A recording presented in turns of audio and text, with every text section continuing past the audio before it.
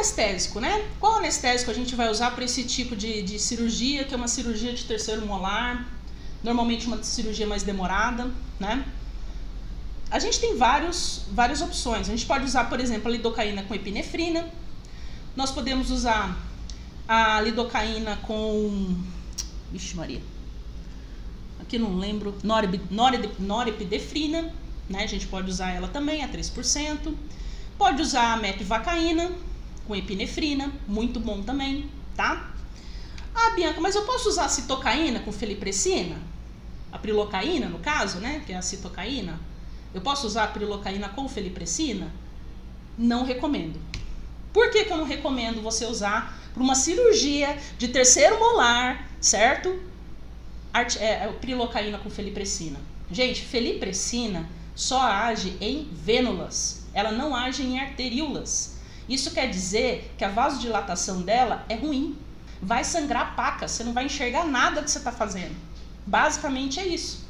Então, dos anestésicos, dos leques de anestésicos que nós temos. Opa, desculpa, gente, eu, eu bati no microfone.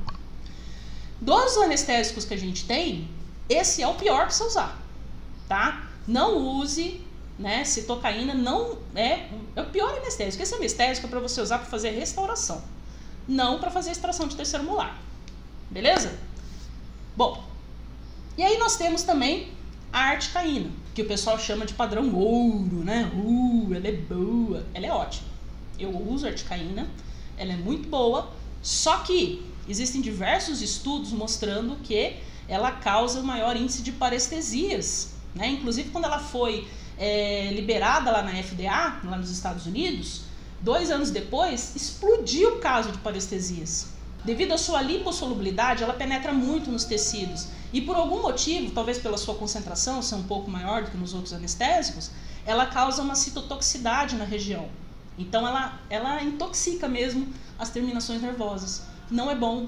A chance de você ter um problema no pós-operatório é maior. Então não use articaína também para essa cirurgia. Você pode, num desses três aí que eu falei, né?